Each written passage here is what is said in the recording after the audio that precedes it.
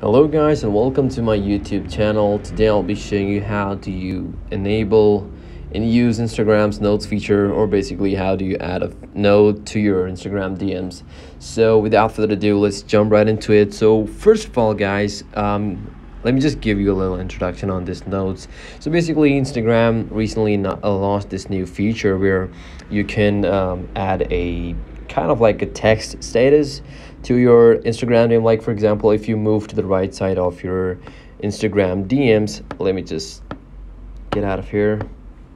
If you go there, like you see there are a bunch of people with their um they have these uh, notes right above them so how do you add them right so first of all we, i need you guys to make sure that your instagram is up to date like for example I, I'm not quite sure about this, but there's a big possibility that if you're using a really old phone, which is really outdated, this feature might not work on it because it's like a really, really new feature.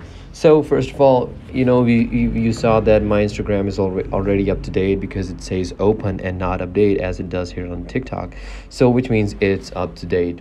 So what do I do next? I open my Instagram and now I'm on my DM section. Now it, now when I press my uh, profile picture it pops up with this uh, leave a note um, you know uh, option. So I can just add like anything like for example I am bananas let's suppose right?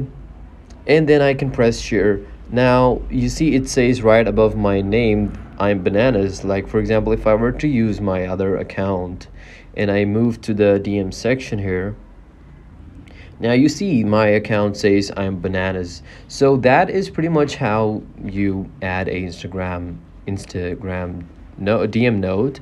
And you don't uh, exactly have to you know activate it in some way. It just is there so that is pretty much all from this video. Uh, i hope this video was helpful and i'll see you in the next one. Thank you